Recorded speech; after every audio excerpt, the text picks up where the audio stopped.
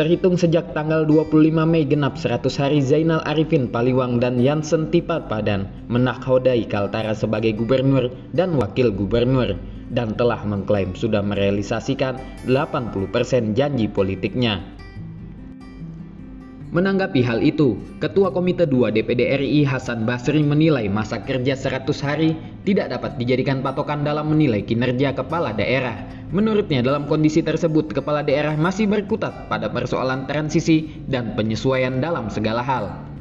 Terkait klaim keberhasilan Zainal Yansen yang telah melakukan 80% dari janji politiknya, menurutnya hal tersebut cukup relatif dari sisi tertentu. Jika pandangan tersebut dinilai dari janji jangka pendek, maka klaim tersebut sah-sah saja. Namun jika klaim tersebut mengarah kepada janji politik dalam kerangka kerja satu periode, menurutnya klaim tersebut memerlukan kajian lebih lanjut. Apalagi kata Hasan Basri, Kaltara merupakan provinsi yang baru sehingga tidak bisa segala persoalan diselesaikan semudah membalikan telapak tangan.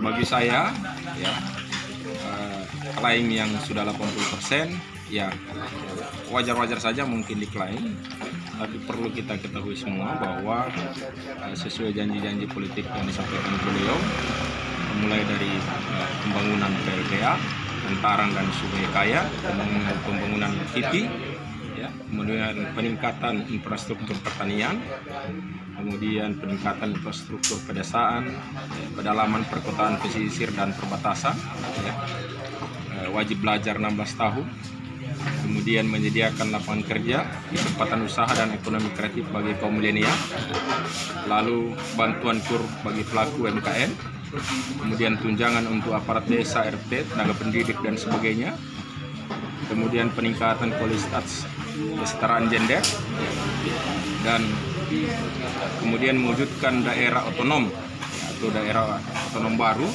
Ya, dalam hal ini kota Tanjung Selor, kota Sebati, kota Budaya dan lain sebagainya.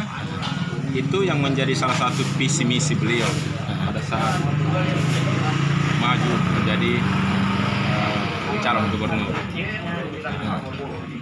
Uh, itu mungkin tidak semudah membalikkan telapak saya kira kalau yang menjadi target 100 hari adalah program jangka pendek, ya wajar saja beliau sudah klaim sudah 80%. Tapi untuk yang jangka-jangka panjang, ini yang perlu uh, menjadi perhatian kita bahwa jangka panjang ini uh, uh, perlu dukungan.